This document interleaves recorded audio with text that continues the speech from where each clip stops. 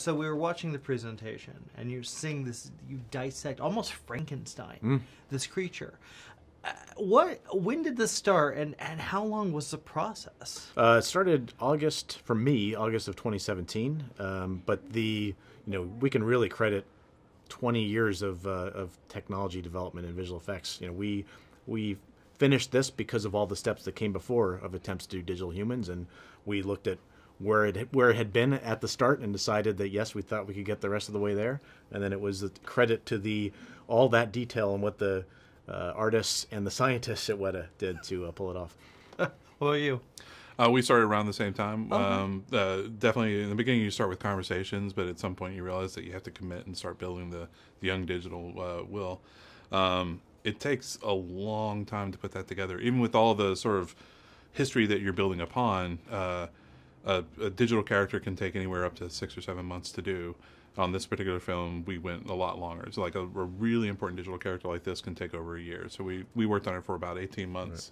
You know, even the last shots we're doing on the film and the last weeks of the film, we're still tweaking the character, trying to make sure that he, he stays on that. that part of the problem it- it's it's not just creating a digital human it's mm. creating a digital will smith so Yeah. you know you you are not there when you have someone who looks like he's a you know he's it's a real person it's it's got to have the likeness as well and that's that was actually as much of a challenge as the science of the skin and the the pore quality just making sure it always looked like will smith Well, I, one of the things I was noticing with the presentation is the eyes. I mm. think that would be just difficult to because there's life in eyes. When you usually see a character like this, there's not really life there. It's Right. just a, a character. How? What was that process like? So there's there's two sides to that. One is you have to make the eyes look right, right? Mm-hmm. And what I mean by that is you have to model them correctly. We model all the dimensionality of the eye so that it's not just a white sphere with a, an iris textured onto the front of it with a highlight on it. It's actually got all the volumes of it properly, even to the point of having the choroid on the inside of the eye so that you get that slight tinge of blue as it goes towards the iris. All that kind of stuff you have to get right. Uh, the way the eyelid merges with the eye is incredibly important. But if you make a frame of the eye look amazing, then all it takes to just completely sabotage that is bad animation. So it all comes down, you know, it then passes off to the animation team, um, who who just study it constantly, work on it constantly. They have to just keep it moving in an organic way so that you always feel that the eye has life.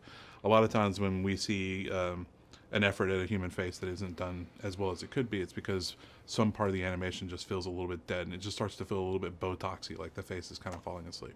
Yeah, we did. We shot a lot of reference. We shot Will Smith in, in situ doing the performance. We had him, you know, cameras capturing him when he was doing the reads. We had uh, Will's acting double on set to refer to. So we would always have something when we looked at looked at a work in progress and said it wasn't quite there. We'd have something to point to. It's, it's really the the the last five percent of doing this is as is as hard as the first 95% by orders of magnitude and it becomes subconscious you know you even us as artists couldn't necessarily point to it and say without that reference say look at that that's off we, you know you'd have to compare back and forth to find out what's uh, what's you know triggering you that this isn't right What was the most important uh, visual aid for you guys? um, it was will's will's capture i think it was the most important I mean, uh, to get the performance, definitely Will's capture. To get the result that we ended up with, Will's filmography. We have to end this right now. You have all of his gifts without his pain. You made a person out of another person. Then you sent me to kill him. You made a choice to do this to me. This thing that you're struggling with, it's fear. Embrace it and then overcome it.